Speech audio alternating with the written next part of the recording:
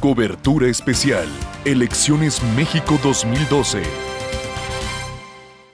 Es día de elecciones en el territorio mexicano. La decisión más importante del rumbo del país está por conocerse. Les damos la bienvenida a la cobertura especial Elecciones 2012. Por la mañana, los cuatro candidatos presidenciales se dieron cita en las urnas para emitir su voto en las casillas que les correspondían.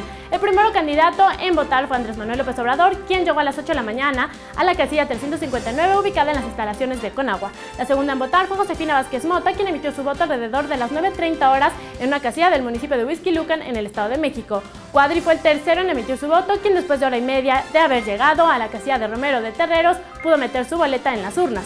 El último candidato presidencial que emitió su voto fue Enrique Peña Nieto, quien llegó al centro de Atlacomulco para tal fin. Continúe con la cobertura elecciones 2012. Cobertura especial. Elecciones México 2012.